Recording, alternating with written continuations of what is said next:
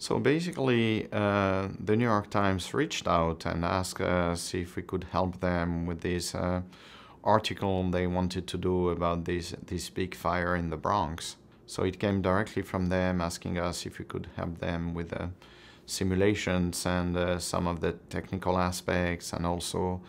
some understanding of the, of the fire and how it happened. It's very different from being asked about your opinion about um,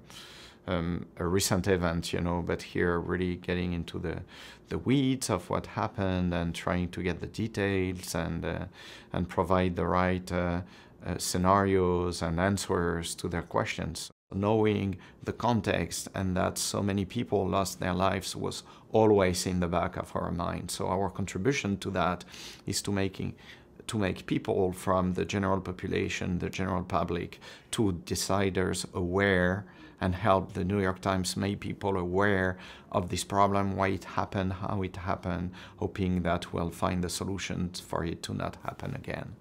I think it's really pointing towards the direction that we really have to do something for the buildings which are aging, that are someone retrofitted, but not for fire directly, or changing sometimes use, changing the way they operate, and the fire risk is increasing and we don't really assess that and we don't really have an approach to really take that into account. i I think it's a very important point that as an industry we'll have to address in the future. Some things are done, but